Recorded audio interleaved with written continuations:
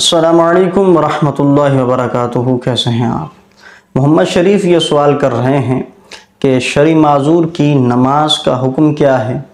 اور اسی طرح اگر ایک چیز سے وہ شرع معذور ہوا ہے، مثال کے طور پہ پیشاب کے قطروں سے وہ شرع معذور بن گیا، تو اس وقت اگر کوئی دوسری چیز پائی جائے جو ناقد وضو ہو جیسے ریح کا خارج ہونا، تو پھر اس کا کیا حکم ہے؟ اس کے کیا مسائل ہیں؟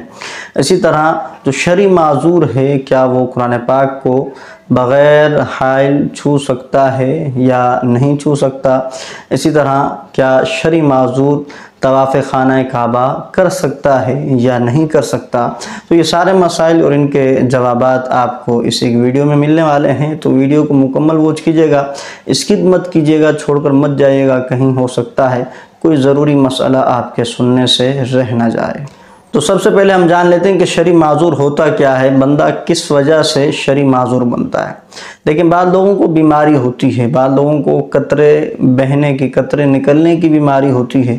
اسی طرح بعض لوگوں کو ری خارج ہونے کی بیماری ہوتی ہے اور بعض لوگوں کو جو ہے وہ موشن لگ جاتے ہیں اور مستقل آتے رہتے ہیں، یہ بھی ایک بیماری ہو سکتی ہے۔ تو یاد رکھیے، پیشاب کے جو قطرے آتے ہیں، یہ ناپاک ہیں اور نجاست غلیظہ ہیں۔ ان سے کپڑا اور بدن ناپاک ہو جاتا ہے۔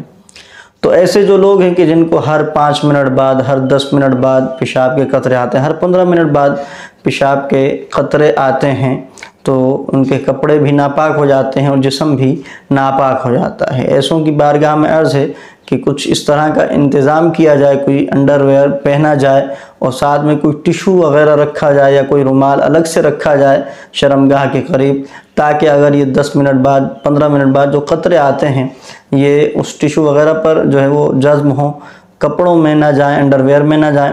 اور پھر جب نماز پڑھنے آپ جائیں تو اس سنجا خانے میں جا کر اس ٹیشو وغیرہ کو آپ پھینک دیں اور شرمگاہ کو دھو کر پاک کر لیں اور اس کے بعد آپ نماز ادا کر لیں۔ چونکہ آپ کو دس منٹ یا پندرہ منٹ کا گیپ ملا ہوا ہے، اس میں آپ وضو بھی کر سکتے ہیں اور نماز بھی پڑھ سکتے ہیں۔ لہٰذا یہ طریقہ اپنانا ہوگا اور اس طرح آپ کی نماز ہو جائے گی۔ آپ شرع معذور نہیں ہیں۔ شرع معذور کون ہوتا ہے؟ شرع معذور وہ ہوتا ہے کہ جس کو بہت کم وقت میں بار بار جو ہے وہ بیماری پائی جائے۔ مثال کے طور پر پیشاب کے قطرے کی بیماری اگر کسی کو لگی ہوئی ہے اور ہر دو منٹ میں، ہر تین منٹ میں اس کو ایک قطرہ، دو قطرہ یہ آتے رہتے ہیں۔ یعنی اس کو اتنا وقت نہیں مل رہا کہ وہ وضو کر کے نماز ادا کر لے اتنا وقت جو ہوتا ہے کہ وضو کرنے میں اور فرض ادا کرنے میں جتنا ٹائم ہے، اتنا ٹائم بھی گیپ نہیں آ رہا اور مستقل قطرے نکلے جا رہے ہیں۔ ہر دو منٹ بعد قطرہ آ جاتا ہے، ہر تین منٹ بعد قطرہ آ جاتا ہے۔ تو اس حوالے سے مسئلہ یہ ہے کہ اگر ایسا شخص پوری نماز کے وقت میں اسی طرح رہا۔ یعنی مثال کے طور پہ ہم جو ہے وہ فجر کی نماز کا وقت لے لیتے ہیں۔ ایک سے ڈیڑھ گھنٹہ مثال کے طور پہ اگر ڈیڑھ گھنٹہ نماز کا وقت ہے تو پورے ڈیڑھ گھنٹے میں اس کو اتنا ٹائم نہیں ملا کہ وہ وضو کر کے نماز ادا کر لیتا۔ اتنا وقت اس کو نہیں ملا۔ ہر دو منٹ میں اس کو قطرہ آ رہا ہے، ہر تین منٹ میں اس کو قطرہ آ رہا ہے۔ تو یہ پورا وقت پہلے وہ چیکنگ کرے گا اور آخری وقت جب رہ جائے گا کہ اب وضو کر کے نماز ادا ہو سکتی ہے، تو اس وقت وہ وضو کر کے نماز ادا کر لے گا۔ بھلے قطرے آ رہے ہوں، آنے دے۔ وضو کر کے نماز ادا کر لے، اس کی نماز ہو جائے گی۔ اور یہ شخص شرع معذور ہو چکا ہے۔ اب اس کے لیے حکم یہ ہے کہ جب بھی نماز کا وقت داخل ہوگا تو یہ وضو کر لے اور نماز ادا کر لے۔ اب وہ جب تک نماز کا وقت باقی ہے تو اس کا وضو بھی باقی رہے گا۔ یعنی اس کو پیشاب کے قطروں کی بیماری ہے۔ تو اگلی نماز کے وقت میں جتنے بھی پیشاب کے قطرے آئیں، اس سے اس کا وضو نہیں ٹوٹے گا۔ پوری نماز کے وقت تک اس کا وضو برقرار رہے گا۔ اور اس دوران یہ جتنی نمازیں پڑھنا چاہے، پڑھ سکتا ہے۔ فرض پڑھے، نفل پڑھے، جتنی نمازیں پڑھے، یہ پڑھ سکتا ہے۔ اسی طرح یہ قرآن پاک کو بھی چھو سکتا ہے۔ جو شرع معذور بن گیا ہے، تو وہ اس عذر کے اندر باوضو ہوتے ہوئے، نماز کے وقت کے اندر باوضو ہوتے ہوئے قرآن پاک کو بھی چھو سکتا ہے۔ جب وہ نمازیں پڑھ سکتا ہے تو اس وقت وہ قرآن پاک کو بھی چھو سکتا ہے اور اسی دوران یہ طواف بھی کر سکتا ہے۔ جی ہاں اس دوران یہ شرع معذور طواف بھی کر سکتا ہے۔ تو جیسے ہی نماز کا وقت ختم ہوگا، اس کا وضو بھی ختم ہو جائے گا۔ اس کے بعد اب اس کو نئے سرے سے وضو کرنا ہوگا اور دوبارہ پھر نماز ادا کرنی ہوگی۔ ہاں اگر اسی نماز کے وقت میں یعنی مثال کے طور پہ کوئی شخص فجر میں شرع معذور بنا، اب زور کے وقت جب داخل ہوا تو اس نے وضو کر لیا اور زور کی نماز ادا کر لی اور پورا وقت جو ہے وہ اس کو پیشاب کے قطرے آتے رہے۔ کوئی اور مرض نہ پایا گیا یعنی وضو توڑنے والی کوئی اور چیز نہ پائی گئی، تو اس کا وضو برقرار رہے گا۔ ہاں اگر کوئی اور عذر پایا گیا، کوئی اور وجہ پائی گئی کہ جس سے وضو ٹوٹتا ہو، مثال کے طور پہ یہ پیشاب کے قطروں کا مریض تھا، لیکن اس کو جو ہے وہ ری خارج ہو گئی یا کوئی اور مسئلہ ہو گیا قیع آ گئی، تو اب اس کا وضو ٹوٹ جائے گا۔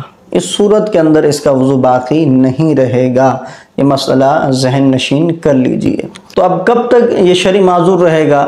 تو یاد رکھیے جب تک اس کو ہر نماز کے وقت میں ایک مرتبہ بھی وہ مرض پایا گیا، تو یہ شرع معذور ہی ہے۔ مثال کے طور پہ یہ فجر میں شرع معذور بنا یعنی فجر کی نماز میں اس کو اتنا قطرے آئے کہ ہر دو منٹ بعد، ہر تین منٹ بعد قطرے آ رہے تھے اور اس کو اتنا وقت بھی نہیں مل پا رہا تھا کہ یہ وضو کر کے نماز ادا کر لیتا، تو یہ اس وقت میں تو شرع معذور بن گیا۔ اب اگلی نماز کے وقت میں کم از کم ایک مرتبہ یہ مرض ضرور پایا جائے۔ تو یہ شرع معذور رہے گا۔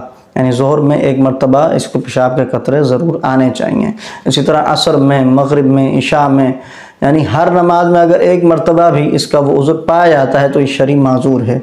لیکن اگر کسی نماز میں ایک مرتبہ بھی اس کا وہ عذر نہ پایا گیا، مثال کے طور پہ وہ پیشاب کے قطروں کا مریض ہے اور فجر میں وہ شرع معذور بنا ہے زور میں بھی اس کا ایک قطرہ پایا گیا، ایک مرتبہ یہ عذر پایا گیا، لیکن عصر میں ایک مرتبہ ہی نہ آیا یا اس دن تو پایا گیا، اگلے دن کسی نماز میں ایک مرتبہ بھی وہ عذر نہیں پایا گیا پوری نماز کے وقت میں، تو پھر یہ شخص شرعی معذور نہیں رہے گا۔ اب وہ جو اس کے احکامات تھے، وہ ختم ہو جائیں گے۔ اب یہ نارمل آدمی بن جائے گا۔ تو نارمل آدمی کے جو مسائل ہوتے ہیں، وہ اس کے اوپر لاگو ہوں گے۔ یعنی نارمل آدمی کا اگر پیشاب کا خطرہ نکل جائے، تو وہ کپڑے کو بھی ناپاک کرتا ہے اور جسم کو بھی ناپاک کرتا ہے۔ تو اس کے لیے جسم اور کپڑے پاک کرنا ضروری ہے۔ لیکن جو شرع معذور بن چکا ہوتا ہے، اس کے لیے یہ چیزیں ناپاک نہیں ہوتی۔ یعنی وہ اس حالت میں نماز پڑھ سکتا ہے، قرآن پاک بھی پڑھ سکتا ہے، بھلے پیشاب کے قطرے نکلتے رہیں، اس کی شلوار گیلی ہو جائے۔ شری معذور کے لیے یہ رخصت ہے کہ اس کے کپڑے ناپاک نہیں ہوں گے۔ لیکن جیسے وہ شری معذور سے نکلے گا، باہر آئے گا تو وہ نارمل آدمی بن جائے گا تو اب اس کے کپڑے ناپاک بھی ہوں گے۔ اور اسی طرح انہوں نے قرآن پاک چھونے اور طواف کرنے کا بھی پوچھا تھا، وہ میں نے آپ کو بتا دیا ہے کہ شرع معذور جب بن گیا تو اب عذر کی حالت میں جب نماز کا وقت آئے اور وہ اس نماز کے وقت میں وضو کرے، اس دوران وہ جتنی نمازیں پڑھنا چاہے پڑھ لے۔ تو اس دوران وہ قرآن پاک کو بھی ہاتھ لگا سکتا ہے، اسی طرح وہ طواف بھی کر سکتا ہے۔ اس کے علاوہ اگر کوئی شخص شرع معذور نہیں ہے، اس کو دس منٹ بعد یا پندرہ منٹ بعد قطرہ آتا ہے پیشاب کا، تو اس سے شرع معذور نہیں بنے گا وہ۔ تو ایسے شخص کے لیے حکم یہ ہے کہ جب پاکی ہو، طہارت ہو، اس وقت قرآن کو چھو سکتا ہے اور اسی وقت طواف کر سکتا ہے پاک حالت میں۔ اگر بے وضو کی صورت میں وہ قرآن پاک کو چھوئے گا تو یہ بھی جائز نہیں ہے۔ اسی طرح بغیر وضو کے طواف کرنا بھی جائز نہیں ہے۔ مجھے امید ہے کہ میری باتیں آپ کو سمجھ آ چکی ہوں گی۔ اللہ تعالیٰ تمام مسلمانوں کو ان بیماریوں سے محفوظ فرمائے اور عبادات و ریاضات میں دل لگانے کی توفیق عطا فرمائے۔ آمین۔ بجائے خاتم النبیین صلی اللہ علیہ وسلم۔ السلام علیکم ورحمۃ اللہ وبرکاتہ۔